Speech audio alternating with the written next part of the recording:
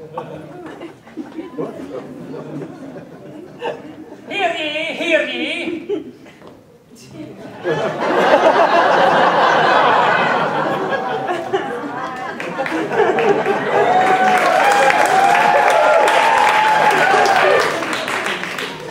Let the slow joust begin.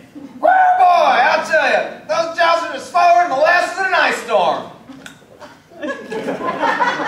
The slow joust, not to be confused with the fast joust, the invigorating joust, or even the brisk joust, but more in common with the leisurely joust, the relaxing joust, and the soothing joust, has been a time-honored tradition since the reign of King of the Sixth. Oh, look, they moved. Boy, you call that moving? They're slower than a one-legged turtle on a telephone pole.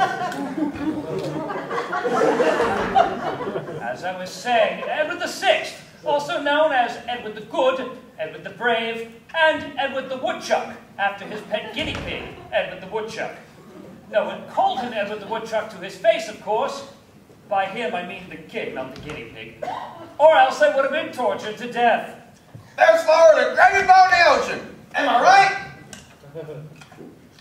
Uh, let's see how our slow joust is coming along. Oh, it's anyone's guess at this rate.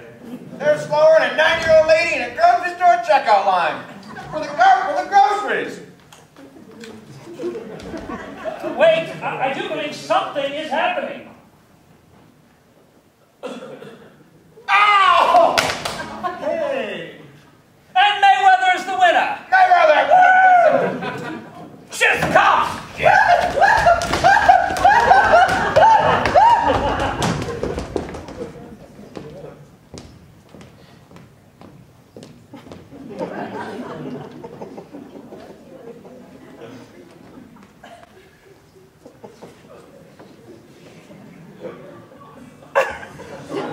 Thank